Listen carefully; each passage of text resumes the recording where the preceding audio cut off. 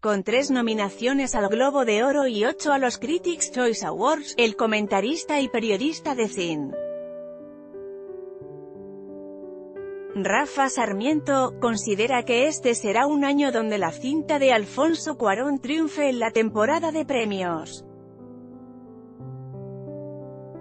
Que comienza el día de mañana. El comentarista de TNT, donde este domingo se transmitirá la premiación a partir de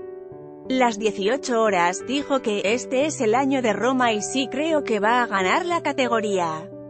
de Mejor Película de Habla No Inglesa, por la que contiende para esta edición representando a México. Rafa Sarmiento aseguró que si hay una contendiente que le pueda hacer frente a Roma es la cinta del polaco Pavel Paulikowski, aunque para esta edición de los Globos de Oro no está nominada. Cold War es el enemigo a vencer esta temporada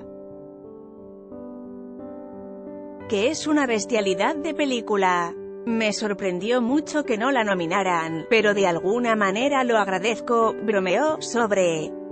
la oportunidad de que Roma logre una nominación a la próxima edición de los premios de la Academia, Sarmiento aseguró. La cinta de Cuarón logrará formar parte de las cinco cintas postuladas a Mejor Película Extranjera y, creo que sí, va a ganar ese Oscar, a menos que Cold War que se interponga, señaló, el hecho de que Roma solo tenga tres nominaciones para la 76 edición de los Globos de Oro responde a las propias normas de la Asociación de Prensa Extranjera de comentó Sarmiento. Por la propia naturaleza del reglamento, no pudo contender en la categoría principal, por no ser una película hablada en inglés, contrario a lo que sucede en otro tipo de premiaciones, me parece un poco irónico. Raro, y hasta absurdo que la prensa internacional, la extranjera que vive en, segregue por lengua a las películas, cuando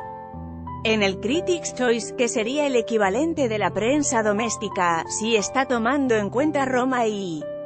tiene la posibilidad de competir. Pero son sus reglas, su fiesta, su gremio y así va la cosa, aseguró.